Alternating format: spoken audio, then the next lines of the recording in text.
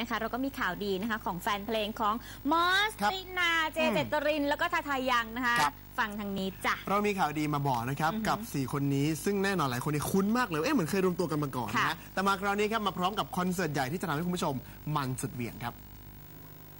ว่างเมื่อไหร่นักร้องหน้าเด็กมอสปฏิพานเป็นต้องขออาสาไปมอบความบันเทิงแก่ข้าราชการไทยอยู่เสมอ จนได้รับประกาศนียบัตรในงานข้าราชการไทยใจสีขาว โดยหนุ่มมอสเผยว่าอาจสละเวลาร่วมงานการกุศลไม่ได้อีกพักใหญ่ เพราะตอนนี้กำลังเตรียมตัวฟิตซ้อมคอนเสิร์ตใหญ่ซึ่งเป็นการรวมตัวของนักร้องรุ่นเก่า อาทิคริสติน่าอากิล่าเจตรินวรรธนะสินทาทายังจากโปรเจกต์